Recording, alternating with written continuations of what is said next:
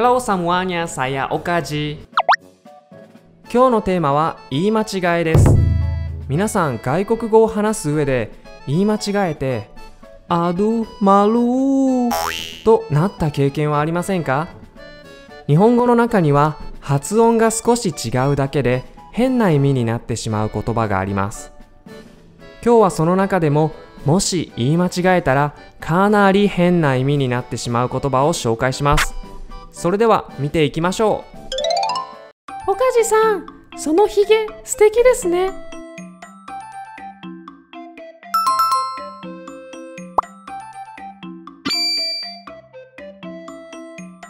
岡地さんそのハゲ素敵ですね。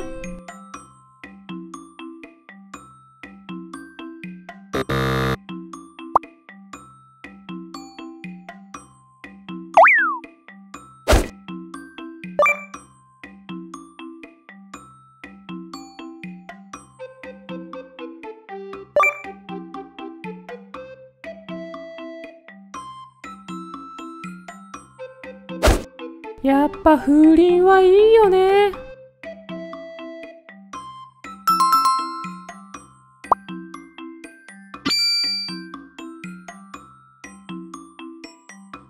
やっぱ不倫はいいよね。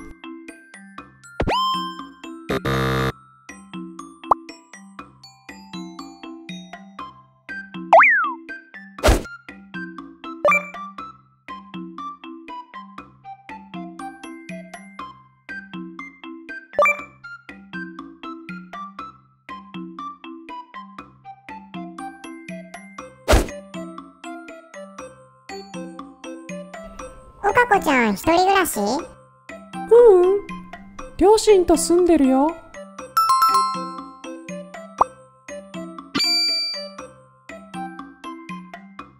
おかこちゃん一人暮らし？ううん。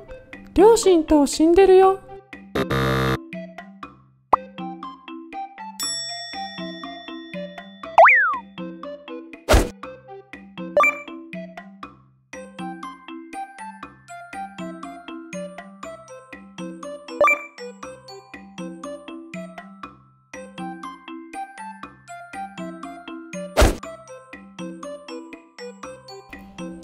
どうぞ座ってください。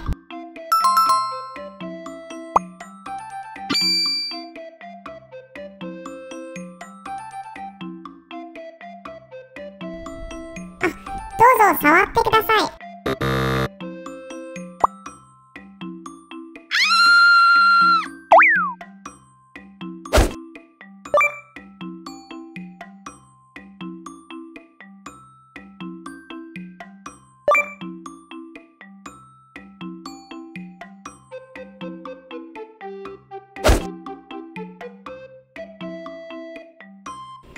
おかこちゃん、明日祝日だけどバス出てるから電話して確認してくれる？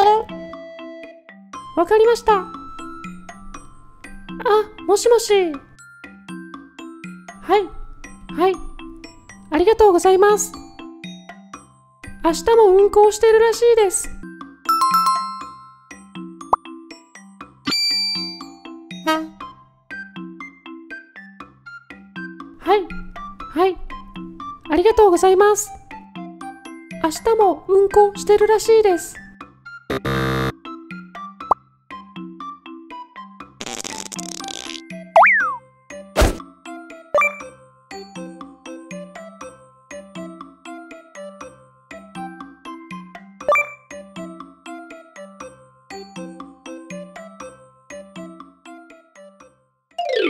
はい。というわけで今日は言い間違えると変態になってしまう日本語を紹介しました。